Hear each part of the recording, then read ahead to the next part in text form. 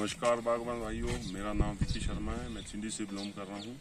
मैंने पंद्रह दिन पहले वायर कंपनी का लूना एक्सपीरियंस अपने बगीचे में डाला था, जिससे आप देख पा रहे होंगे जैसे मार्सनिना एरिया जैसी कोई भी बीमारी, कोई परेशानी नहीं है। ग्रीनगी आप पत्तों में देख रहे होंगे कि ग्रीनगी अच्छी है, कोई दिक्कत नहीं है। शाइन के लिए आप देख रहे होंगे कि शाइन भी बड़ा अच्छा है। अगर हम स्टोरेज की बात करें, अगर इसको हफ़्ता दस दिन तक रखेंगे तो इसमें कोई भी चमक या किसी भी चीज़ में कोई फ़र्क पड़ने वाला नहीं है। धन्यवाद। एक्सपीरियंस है तो चमक है।